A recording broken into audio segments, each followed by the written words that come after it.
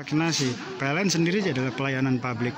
Namun Pak Manajer sendiri hari ini melaksanakan mengikuti pelayanan eh, vaksinasi di Kampung Tanama ini.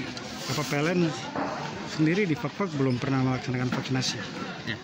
Baik kalau PLN ULP Fakfak sendiri untuk sementara ini memang belum kita jadwalkan. Hanya saja kemarin memang sudah sempat akan kita jadwalkan untuk vaksinasi bersama di kantor ULP. Hanya saja dari pihak di sini Hotel Hawaii menyampaikan bahwa di sini memang ada rencana jadwal vaksinasi. Oleh karena itu dari tim K3L kami Pak Muslihi berkoordinasi eh, diajak untuk bersama sekalian. Oh sekalian di Iya, sini. di sini. Oleh karena itu ada beberapa rekan-rekan kami yang langsung melakukan vaksinasi hari ini. Seperti itu. Sudah personil di PLN sendiri berapa banyak? Kurang lebih dari pegawai dengan tenaga ahli daya itu kurang lebih hampir 080 Pak. 80. Apa Iya. semua sudah vaksinasi?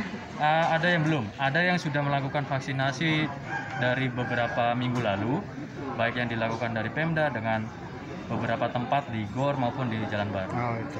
Jadi ikut program yang ada di Iya, dari betul. tim gugus pemerintah ya. Betul. Ah, tapi apa untuk PLN sendiri? Saya ulangi untuk PLN sendiri Hmm. ada program vaksinasi? Iya ada Pak. Karena Memang itu selaku sudah- pelayan pelayan publik kan? Iya. Jadi itu sudah menjadi diwajibkan juga dari PLN, terutama dari PLN UP3 Sorong di bawah wilayah Papua dan Papua Barat. Itu sudah mewajibkan juga untuk WLP-WLP-nya, unit-unitnya melakukan vaksinasi. Dan Seluruhnya. memang ya sudah dilakukan juga dari unit lain dan itu tadi memang kami juga akan segera menjawabkan sendiri apabila hari ini masih banyak yang belum melakukan vaksin. Hmm. Apakah nanti yang dijadwalkan itu apakah vaksinasi hanya khusus pegawai ataukah dengan keluarga?